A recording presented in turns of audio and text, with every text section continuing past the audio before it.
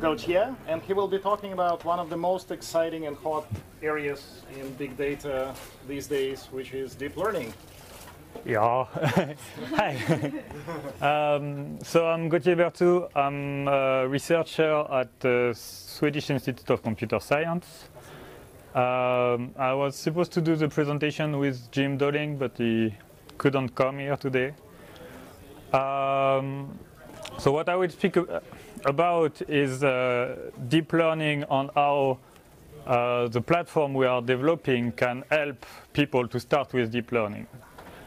Um, because the thing is that uh, my team uh, at the Swedish Institute of Computer Science, and we have created a startup, and we are what we are doing is developing a new um, distribution. Uh, it's the first European Hadoop distribution, and some aspect of it can be very useful for uh, starting with deep learning.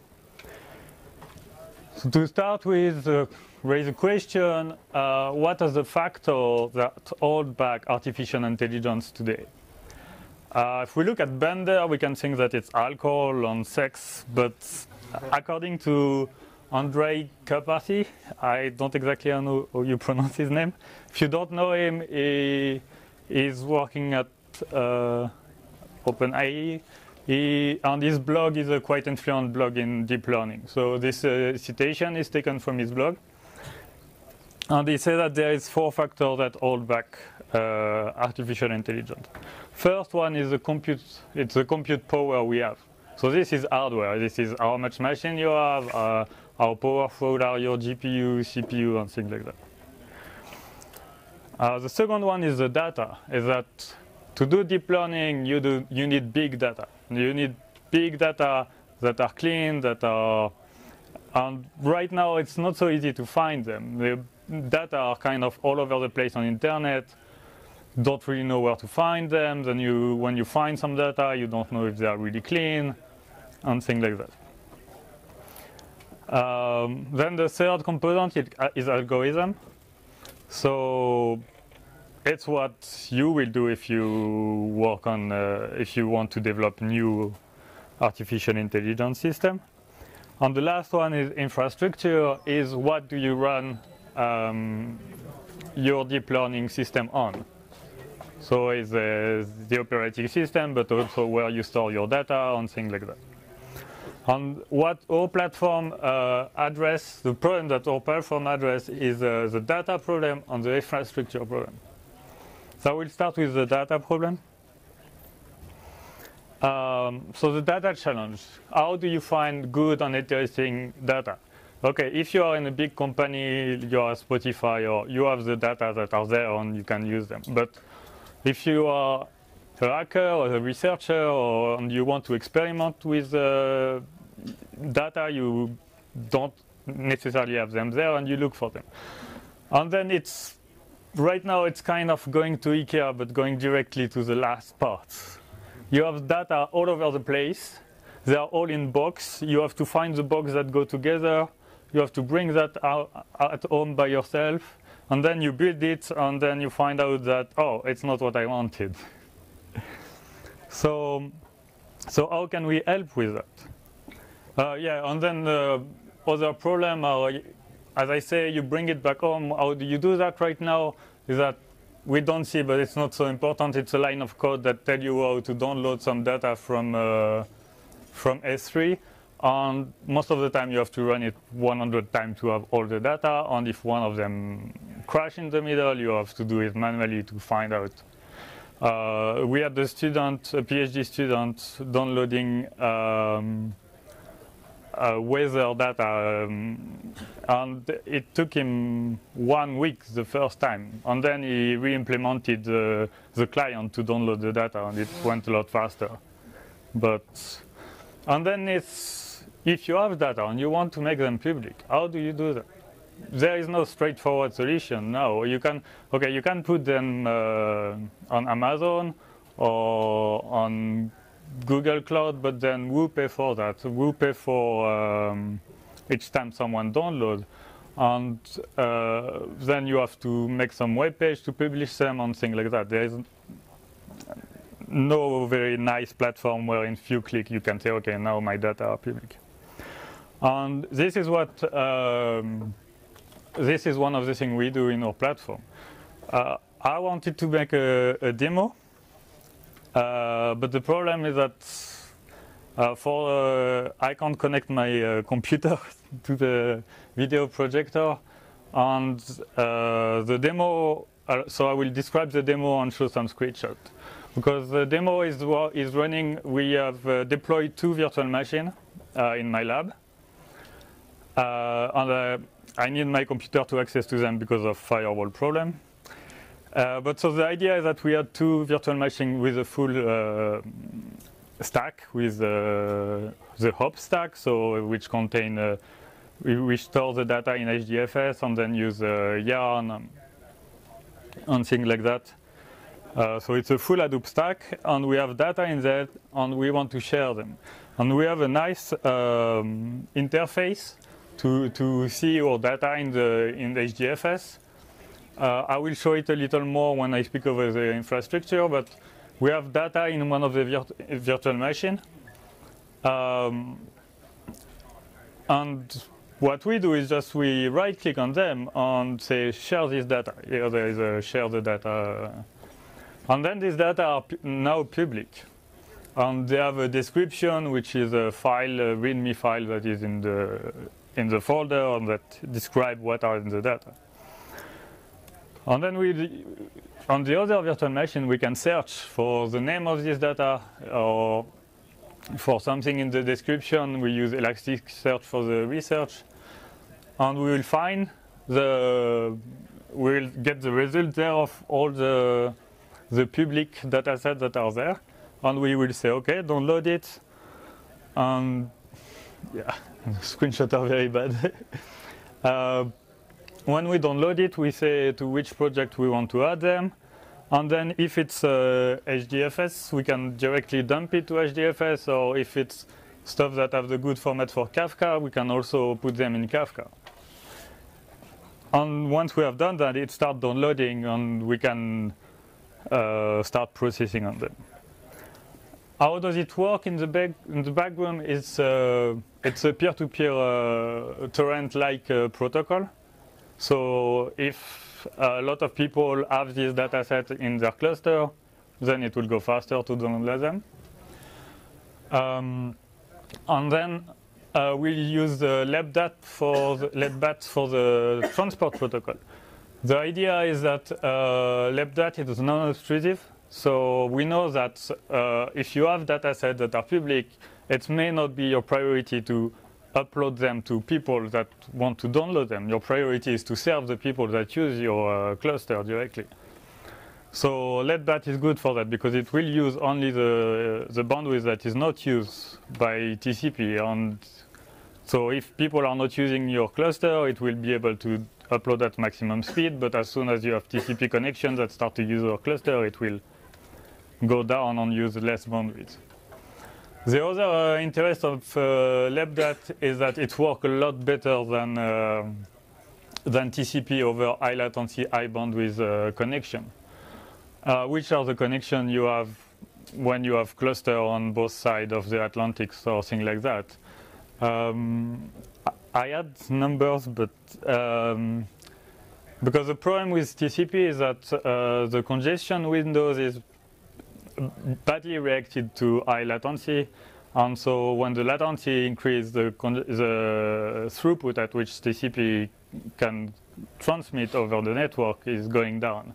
LEDBAT is, uh, is measuring the latency and is looking at the change in latency to know if it should decrease or increase uh, the throughput at which it's on. Um, so and this has also the advantage that it handles better packet loss because it will not take a packet loss as, okay, now I need to decrease the size of my windows by half. It will say, okay, there is one packet that was lost, but globally the latency is the same, so maybe it was just this packet, which can happen on very long link. And uh, lastly, we download the, the piece uh, in order so you can start to process what you are downloading while it's downloading. Mm. So now for the infrastructure part. So if you if you want to develop artificial intelligence and you want to be to do the artificial intelligence algorithm and stuff like that, you don't necessarily want to deal with all the infrastructure under that. You don't want to be this guy. And um, for that, uh, we propose to use uh, TensorFlow and Hadoop. So why TensorFlow? Uh, if you were there uh, two presentations ago, it was two or three. uh, you saw that there is a lot of uh, existing uh, system to do uh, deep learning. We choose TensorFlow because it's the big one right now. It's the one everybody uses. It's Google behind it, so I guess it's help. Uh, I'm personally more developing the Hadoop part, so I don't know so much about TensorFlow. I'm sorry about that. Um, and then we think that Hadoop is a is good for because you want to have big data, as I said at the beginning. Uh, the data you need to train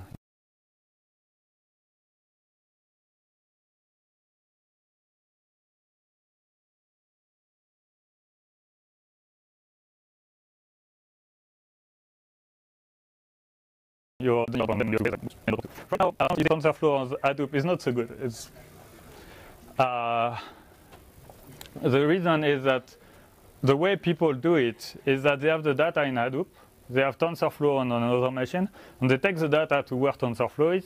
They run TensorFlow, they, they run their uh, algorithm, and then they put back the result in Hadoop. This is not efficient. Uh, luckily, um, there have been a now it has been developed a system so that you can, from TensorFlow, use data that are in Hadoop. And in our platform, we have integrated all of this together so that uh, people can directly run uh, their TensorFlow job uh, in Zeppelin on using data in Hadoop without having all to do all this transfer. Uh, it's not perfect yet. Uh, there is still a lot of work to do, uh, and this will be part of our future work. Um, so I will just do a quick um, demo of our system. The resolution will be shit. So uh, we um, or will I?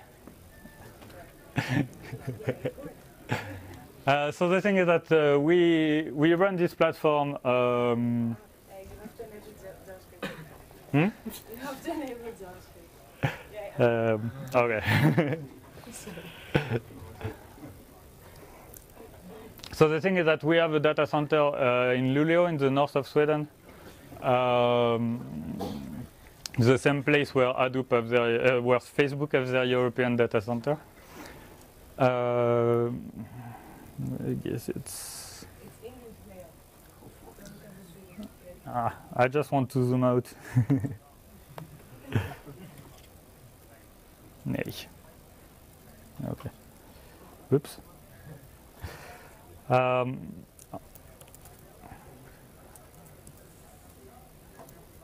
mm.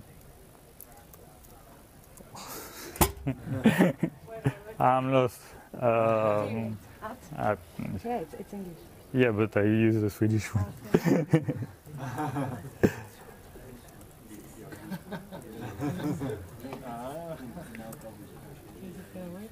Yeah.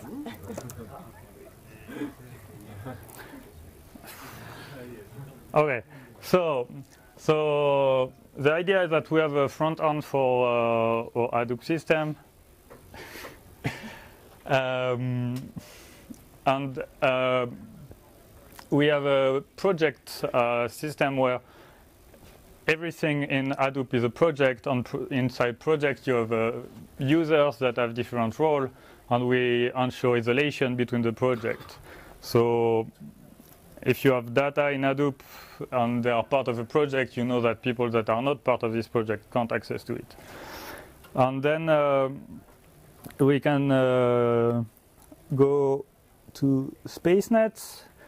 Uh, it's uh, so on this data center we give access to our student the, of the deep learning course, and they did their um, their homework on, on it. And one of the group did uh, the Spa- SpaceNet uh, challenge, so it's um,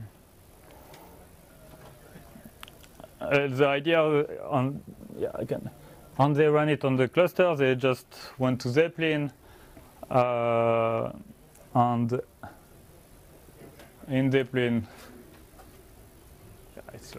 Uh, creating notebook. And the idea of SpaceNet is that it's a satellite picture of um,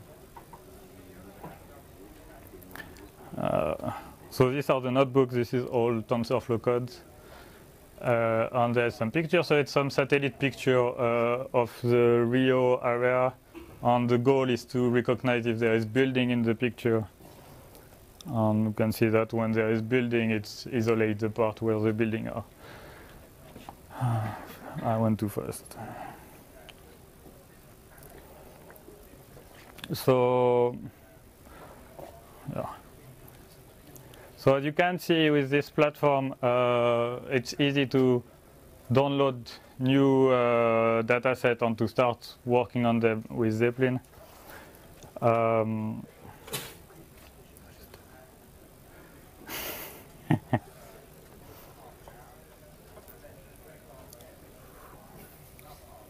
yeah, it's taking time.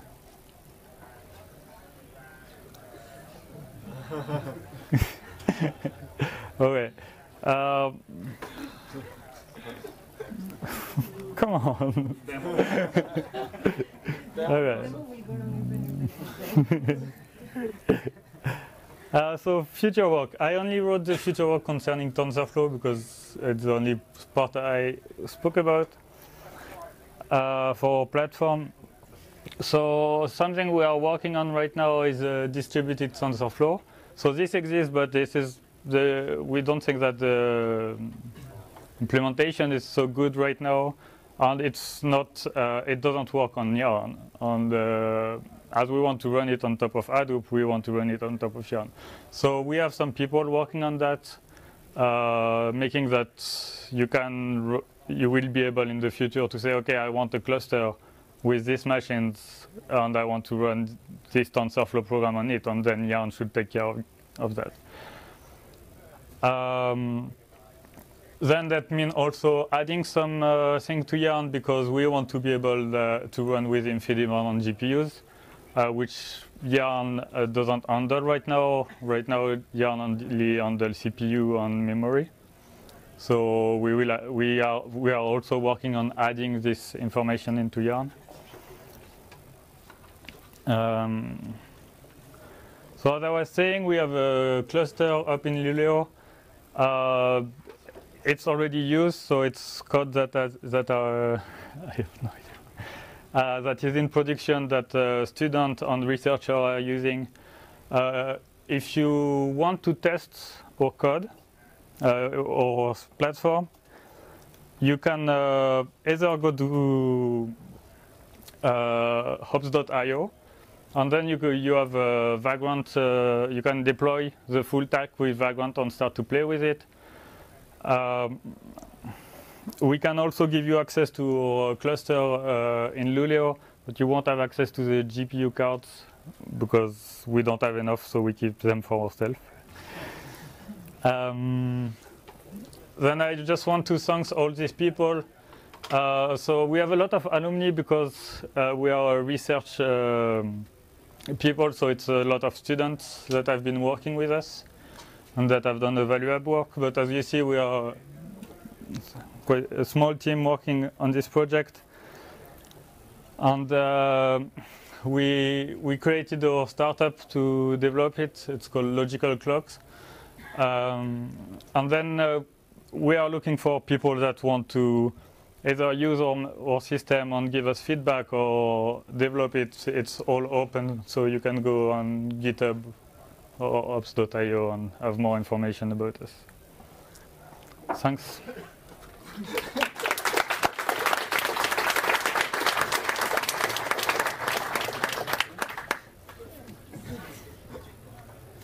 Questions? Any questions?